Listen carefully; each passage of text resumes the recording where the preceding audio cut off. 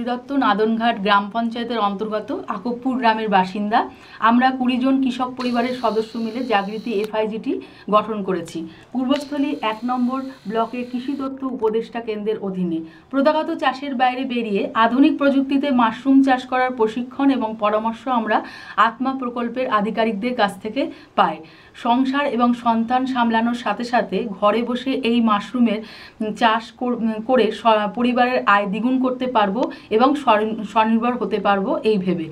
আমরা প্রাথমিকভাবে দুশোটি মাশরুমের বেড, একটি ঘরে যত্ন সহকারে লালন পালন করছি। এই প্রকল্পটি রূপায়ণ করতে আমাদের সর্বমোট দশ হাজার টাকা খরচ হয়েছে।